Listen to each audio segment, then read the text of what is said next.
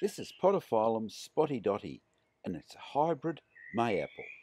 It gets its name from the large leaves, which are a green, marbled with a red colour. This is a plant that grows well in a shaded position in a humus-rich soil. The leaves emerge mid-spring and will last well through summer as long as it receives shade and good moisture. The leaves are held on upright stems and over time spotty dotty will form a clump. This is a plant that does flower.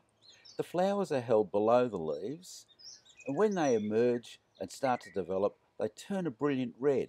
They're difficult to see but they are very attractive. As the flowers finish, small little fruit will form and these can be used for propagation. However, propagation is usually by division. There are other podophyllum species, some from North America and some from Asia.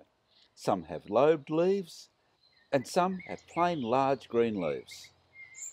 So if you've got a shaded spot in the garden with good humus-rich soil, Podophyllum spotty dotty is one of the best foliage plants around. That's it for Spotty Dotty, a wonderful shade-loving plant.